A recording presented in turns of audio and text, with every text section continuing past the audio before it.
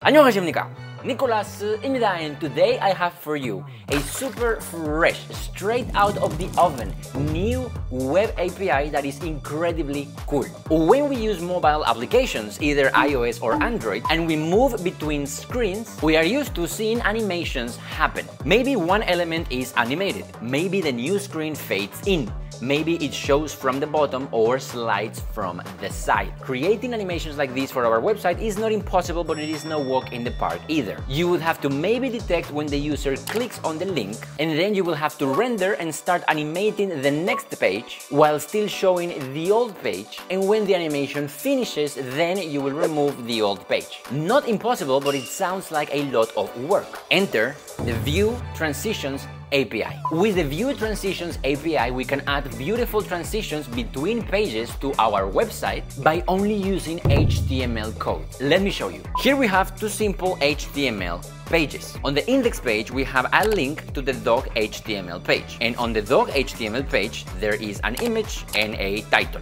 With the code as it is, when I click on the link, there will be no transition. To get the transition, all we have to do is add a meta tag with the name view transition to the head of both of our pages. And now when we click on the link, we will automatically get a fade-in transition when we navigate. That is already super cool. But if we want to, we can customize the animations between pages using CSS. Before we do that, we have to understand how this API works. When the API is enabled and we click on a link, the browser will take a screenshot of the old page it will capture a live representation of the new page and animate the change between them. On our CSS, we get access to both of these elements, the old screenshot and the new page. If you want to customize the animation when the old page is disappearing, you can use the view transition old pseudo element. And if you want to customize the animation when the new page appears, you can use the view transition new pseudo element. In our case, we're going to add this code selecting those pseudo elements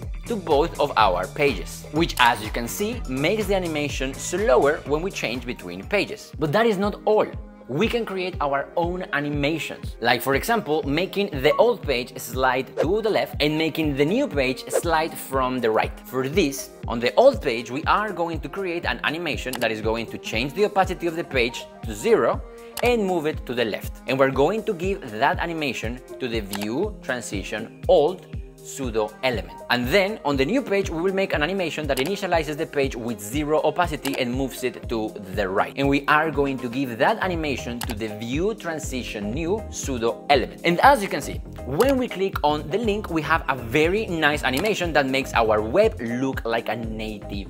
That is already super cool, but what if I told you that we can also animate elements between screens? For this, on our index page, we are going to put a small photo of a dog with a link to the dog page. And on the dog page, we will show the same photo, just a little bigger, plus some extra text. Again, here, only because we are using that magical meta tag, we get the nice fade animation. But now we're going to use CSS to tell the browser that we want to animate the image between the two screens. The way we do this is by using the view transition name CSS property to tell the browser that this image is the same across screen. That is why we are naming the image dog in both our index HTML and doc.html. And as you can see, just with that line of code, now the browser will animate the image when the page changes. How cool was that? The View Transitions API also works with JavaScript, so you can use it from React or other framework. All you have to do is call